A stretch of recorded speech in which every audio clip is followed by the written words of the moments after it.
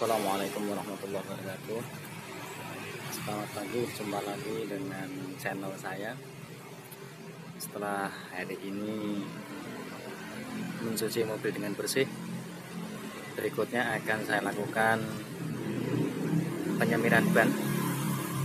Di sini saya akan memakai merek Maguire Atau merek-merek yang lain banyak yang lebih bagus Tapi ini saya pakai Maguire dan sebuah alat kaki yaitu kuas.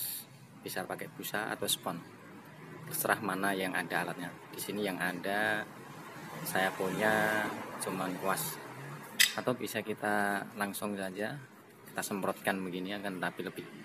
Boros pemakaian semir ini. Nah contohnya seperti ini. Nah gitu. Akan tapi ini ke mana-mana. Nyiprat ke mana-mana bisa ke lantai ke body bisa ke pelek nah ini tinggal kuas.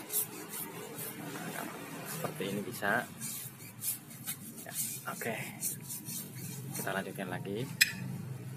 Tapi ah, karena ini nggak ada yang megangin HP ini saya bikin seperti ini. Alhamdulillah setelah empat empat kita semur semua nanti akan